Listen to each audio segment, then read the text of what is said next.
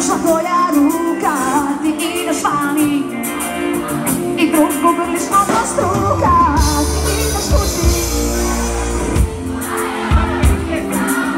Ma io se dovrà Ja ostavljam te novika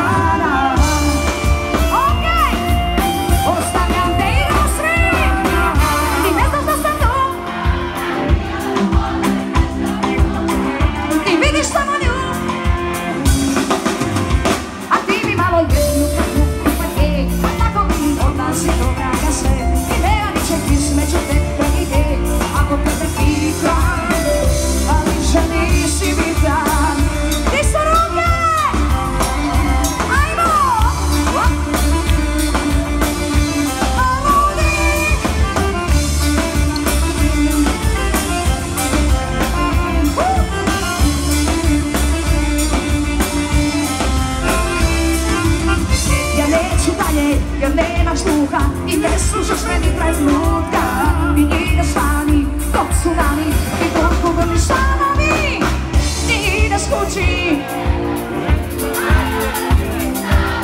My Yoshi.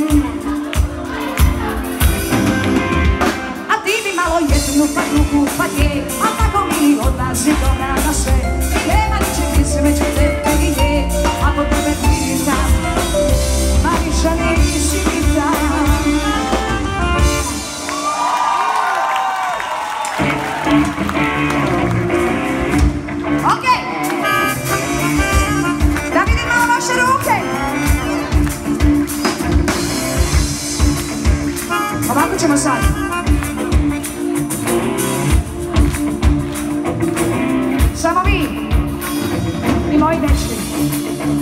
Onako najjače.